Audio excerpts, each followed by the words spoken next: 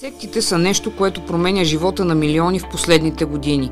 Ето някои от най-популярните, за които не спира да се говори. Сектата на Мун е известна с масовите сватби, в които често се венчаят двойки, които се виждат за първи път в живота. Самият Мун предизвиква противоречие още през 1954 когато основава Световна асоциация на Светия Дух за обединение на световното християнство, често наричана Обединителна църква. През 1992 лидерът на сектата венчава 30 000 двойки, а три години по-късно те стават 360 000. През 1997 Мун организира сватба на 3 милиона и половина двойки.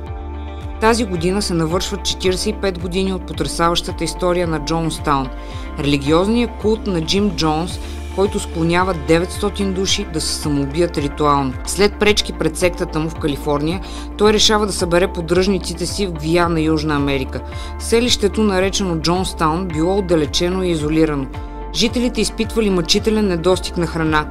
Сектантите живеели заедно в малки общи жилища и работели като волове в жегата.